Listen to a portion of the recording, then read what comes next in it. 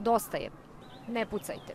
Svakog dana sedmoro dece strada od vatrenog oružja. Vreme je za promene. Naša krv je na vašim rukama. Srednjoškolci su poručili da je masovnih ubistava u školama bilo previše.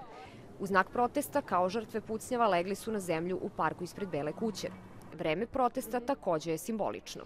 Na protestu u parku ispred Bele kuće nekoliko stotina učenika iz Vašingtona došlo je da obeleži 19. godinu od masakra u školi o Columbine-u i odaće počast svima onima koji su stradali u masovnim pucnjavama u školama u Americi. Za sve stradale u proteklih 19 godina učenici su održali tačno 19 minuta tišine. Pročitana su i imena svih žrtava.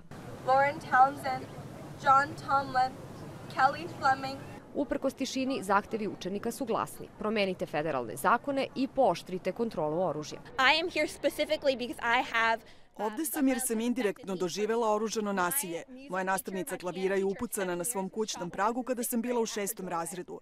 Jako me pogađa to što se dešava u školama i zato mislim da je važno da imamo strože federalne zakone.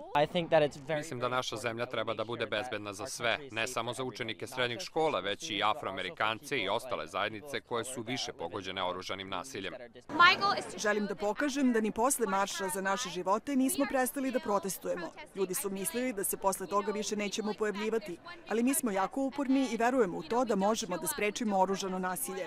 Kako bi to jasno stavili do znanja i svojim političkim predstavnicima u Kongresu, protestu nastavili na Capitol Hillu sa istim zahtevima kao i posle masakra na Floridi. Zdravorazumska promena zakona o oružju, zabrana prodaje dodataka koji oružje pretvaraju u automatsko i automatskog oružja, podizanje starosne granice na 21 godinu i bezbednostne provere kupaca sigurno će smanjiti broj stradalih. Učenici su upozorili da se budućnost u kojoj će oni imati biračko pravo približava i da će smeniti sve one koji ne budu hteli da sprovedu reformu o oružju. Zbog te budućnosti podsjetili su i na greške iz prošlosti. In the months after Columbine, Posle masakra u Columbine-u mislila sam da nema potrebe da javno protestujem. Mislila sam da će sistem popraviti odrasli, jer zašto bi bilo ko od odraslih ostavio sistem u kome se deca ubijaju? Ova epidemija oružanog nasilja je morala da se završi posle Columbine-a. Ali nije. U proteklih 19 godina u masovnim pucnjavama u školama u Columbine-u, Sandy Hook, Univerzitetu Virginia i konačno Parklandu na Floridi ubijeno je 88 osoba. Zbog toga učenici na današnjim protestima poručuju da neće stati sve dok se federalni zakoni ne promene. Sa Capitol Hilla, Jovana Đurović, Glas Amerike.